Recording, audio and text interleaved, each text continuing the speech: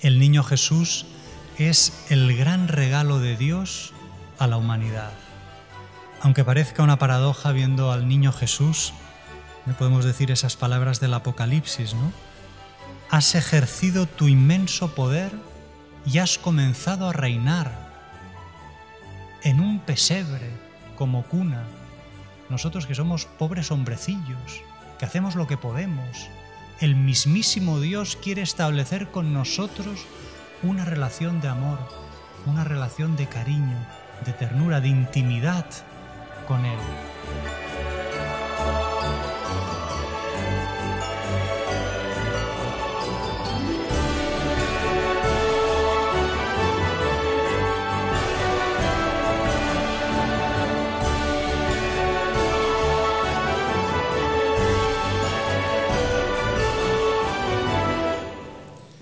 El Señor esté con vosotros. Lectura del Santo Evangelio según San Lucas.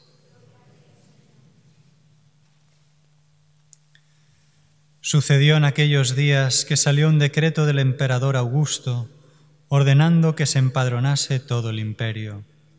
Este primer empadronamiento se hizo siendo Cirino gobernador de Siria, y todos iban a empadronarse cada cual a su ciudad.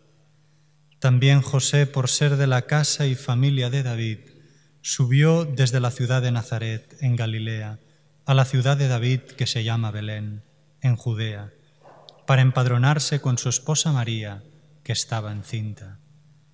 Y sucedió que mientras estaban ahí le llegó a ella el tiempo del parto y dio luz a su hijo primogénito, lo envolvió en pañales y lo recostó en un pesebre, porque no había sitio para ellos en la posada. En aquella misma región había unos pastores que pasaban la noche al aire libre, velando por turno su rebaño. De repente un ángel del Señor se les presentó. La gloria del Señor los envolvió de claridad y se llenaron de gran temor. El ángel les dijo, No temáis, os anuncio una buena noticia, que será de gran alegría para todo el pueblo. Hoy, en la ciudad de David, os ha nacido un Salvador, el Mesías, el Señor. Y aquí tenéis la señal. Encontraréis un niño envuelto en pañales y acostado en un pesebre. De pronto en torno al ángel apareció una legión del ejército celestial que alababa, que alababa a Dios diciendo, Gloria a Dios en el cielo y en la tierra paz a los hombres de buena voluntad. Palabra del Señor.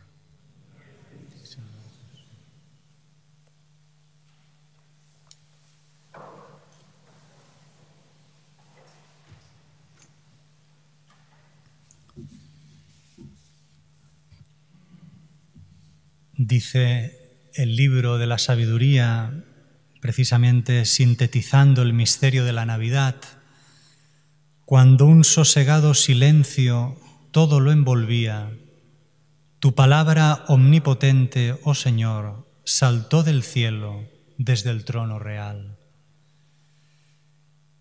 Y así pudo decir también el profeta Isaías, como hemos escuchado en la primera lectura, el pueblo que caminaba en tinieblas vio una luz grande.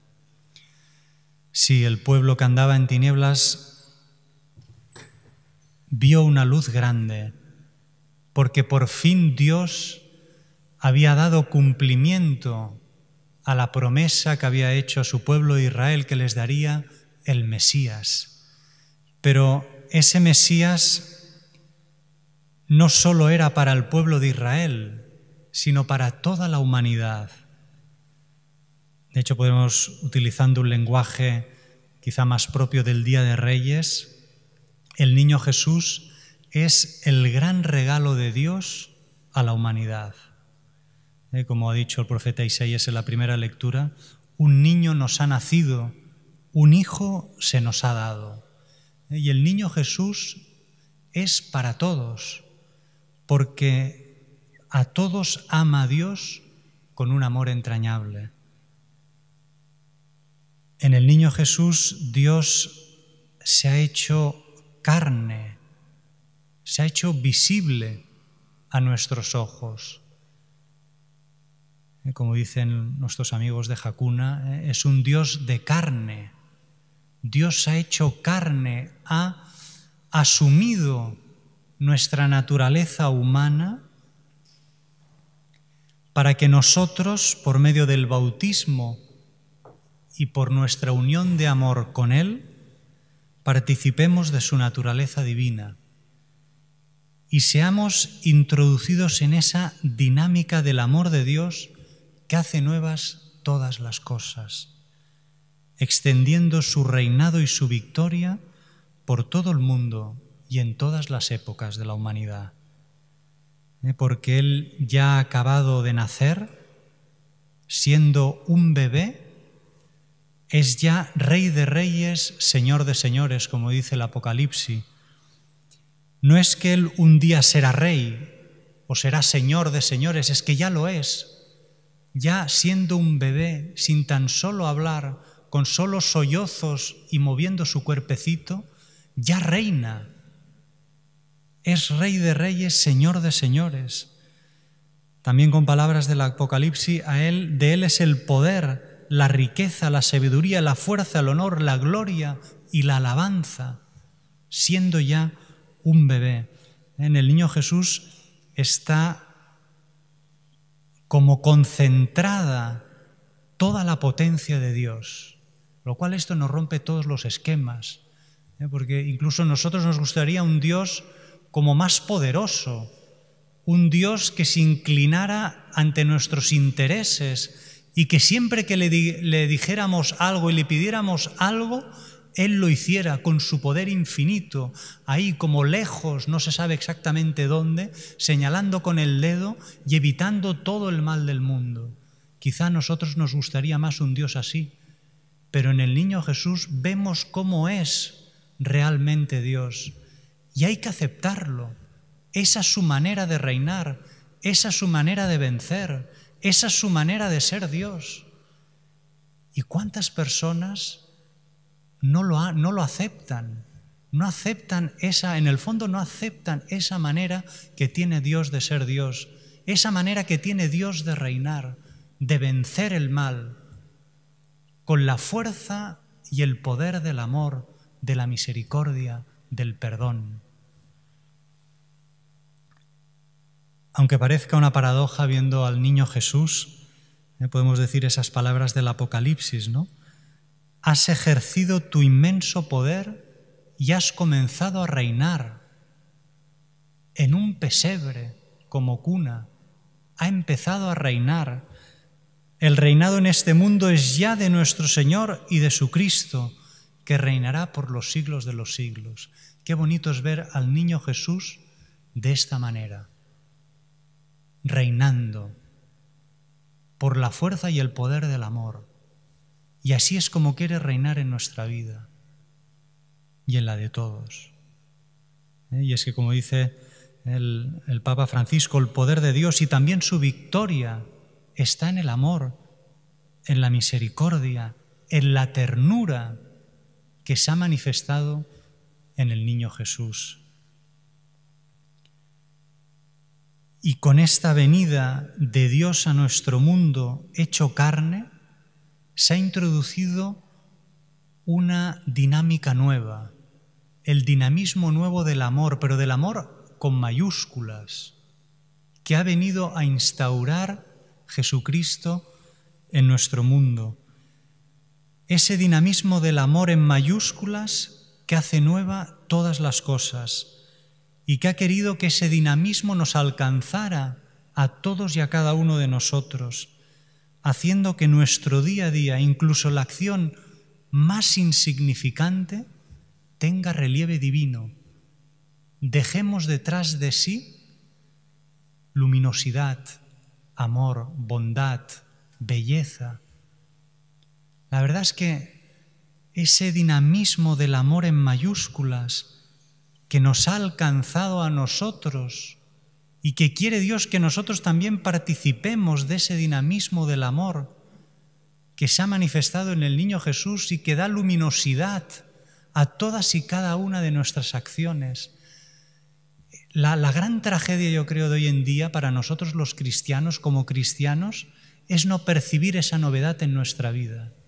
La novedad que Cristo ha instaurado con su venida, que es ese dinamismo del amor, al cual llevan, arrastra todas las cosas tras de sí y que quiere que nosotros, con nuestro corazón, participemos de ese dinamismo nuevo del amor.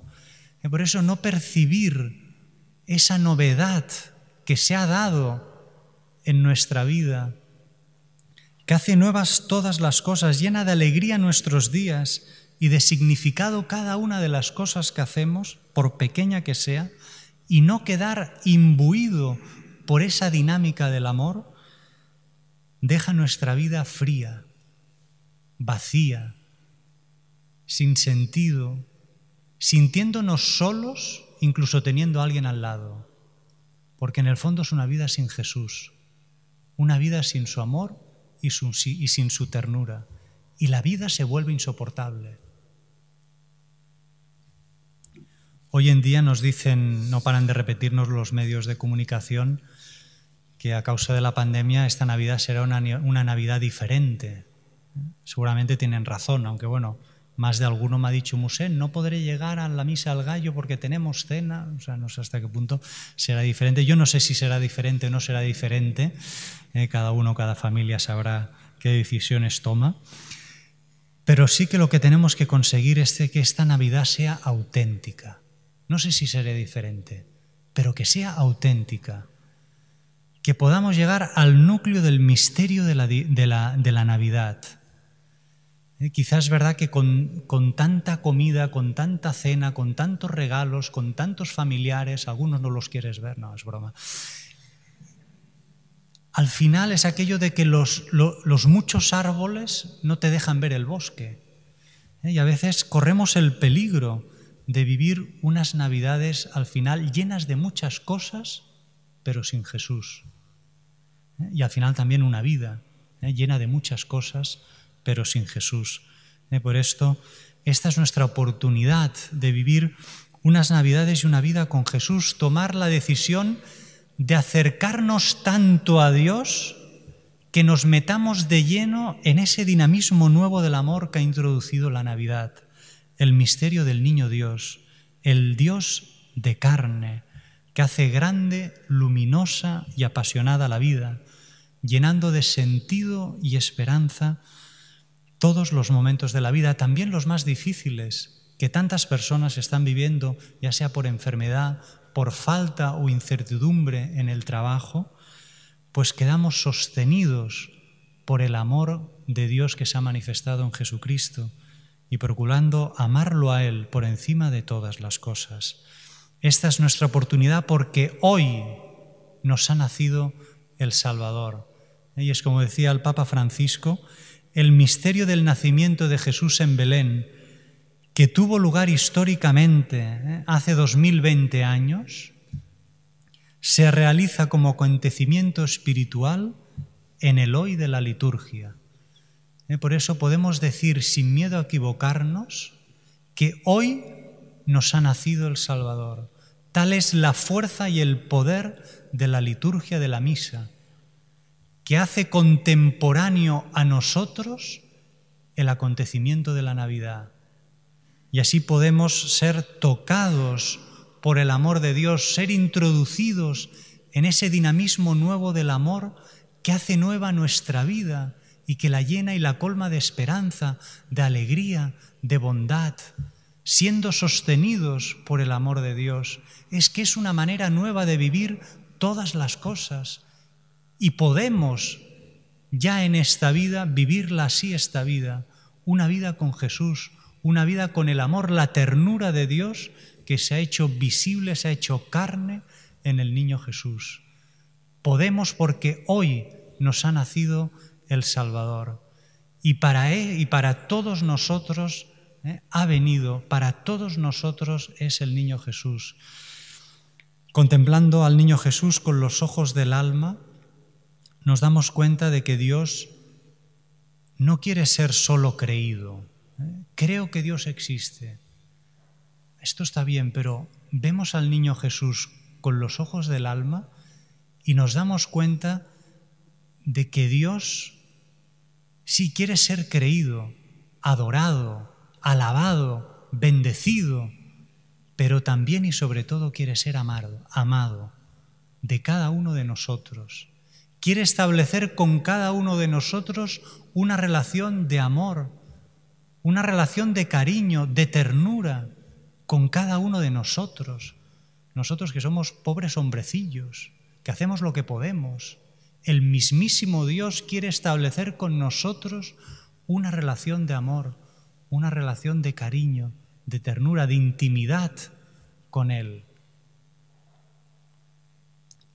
Eh, pues en este sentido, ¿no? Que el misterio de la Navidad, el misterio del Dios hecho hombre, que quiere alargar sus brazos a nosotros para ser acogidos, introducidos en esa dinámica nueva del amor que hace nuevas todas las cosas, nuestra vida, que llena de sentido, de esperanza, los momentos más difíciles de nuestra vida, hoy el Señor en el niño Jesús nos quiere como alargar los brazos y dejarnos abrazar por Él.